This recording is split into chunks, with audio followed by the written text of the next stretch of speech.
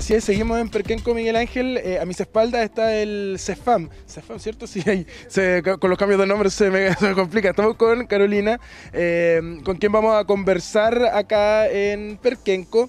Porque, mira, ¿sabes qué? Estamos hablando, vuelve a una nueva cuarentena de Perquenco, pero eh, también está al lado, bueno, ha avanzado bastante rápido el proceso de vacunación. Eh, bueno, de acuerdo al, al promedio de, personas eh, que tiene Perquenco, es de las comunas que más ha inoculado eh, a sus habitantes. Así era, Carolina, buenas tardes. Hola, buenas tardes.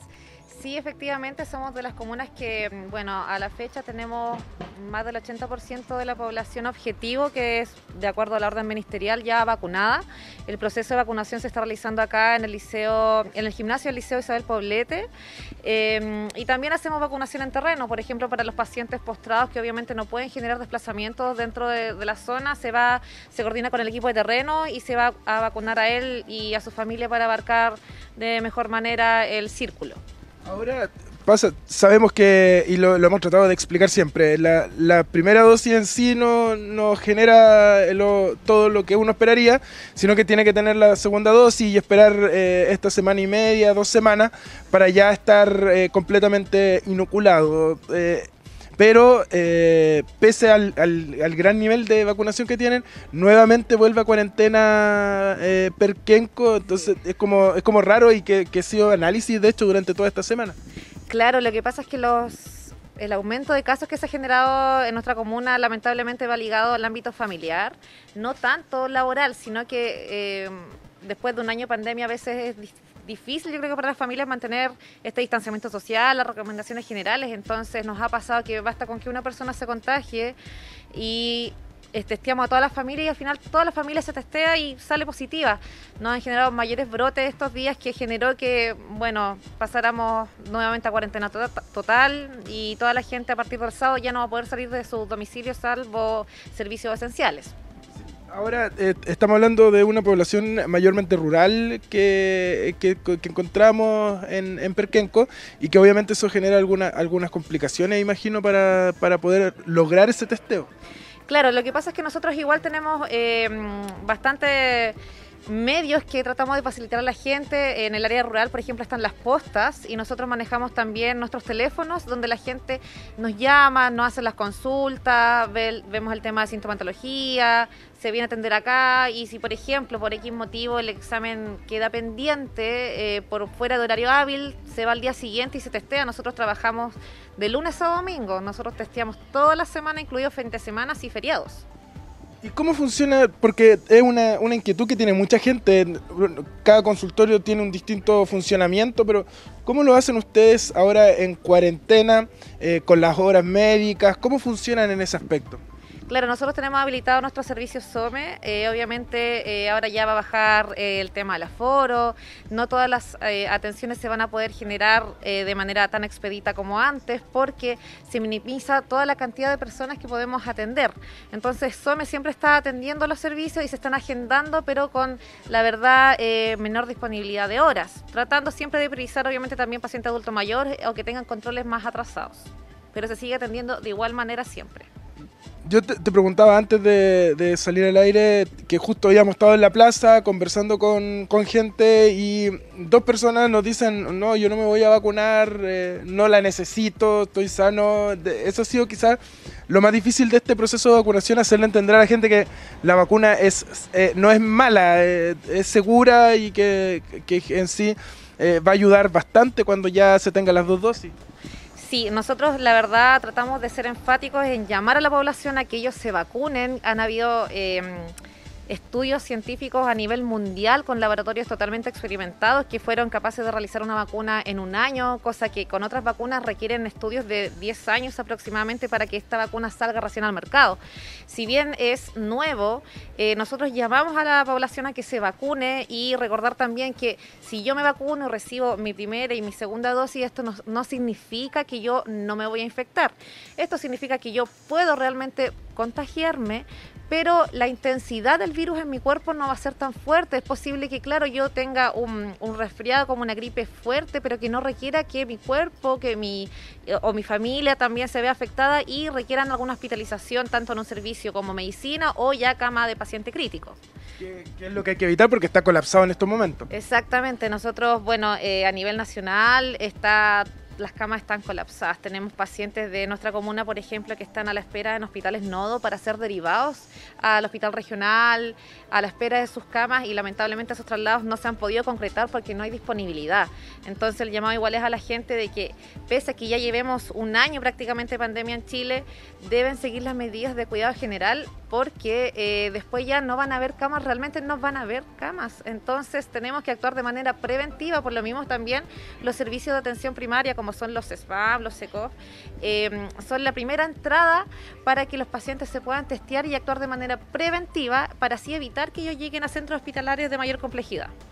De hecho, al principio, durante el año pasado, Miguel Ángel, no sé si te acuerdas que conversábamos con dirigentes de la atención primaria y eh, no tenían un, rol tan protagónico como el que adquirieron posteriormente con la trazabilidad y ahora con el proceso de vacunación que lo están llevando eh, la atención primaria, eh, este proceso prácticamente completo ellos.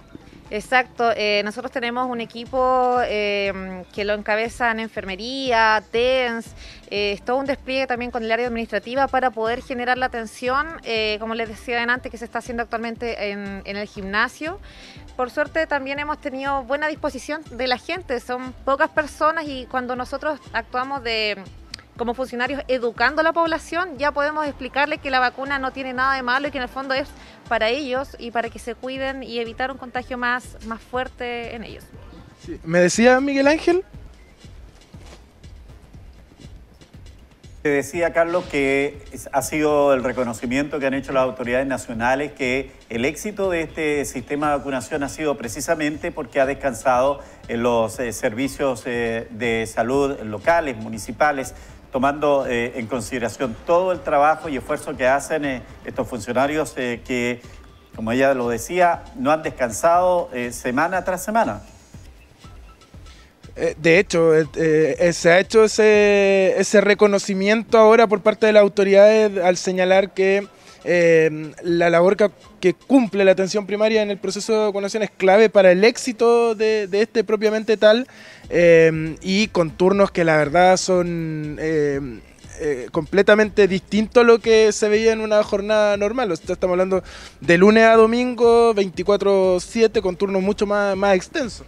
Claro, la demanda obviamente mm, ha, ido de manera exponencial. Em, por ejemplo, el área, el servicio de COVID, entre comillas, de la atención, de la trazabilidad, nosotros trabajamos de lunes a domingo y el área de vacunación, eh, que lo encabezan otros colegas, está siendo trabajado hasta el día sábado, en terreno porque nuestra idea es tratar de abarcar la mayor cantidad posible en el menor tiempo, generar una buena atención de manera oportuna y que la, gente también vea que estamos siendo eh, una entidad preocupada por nuestra población. Me decías que el 80% de la población objetivo ya tiene su primera dosis.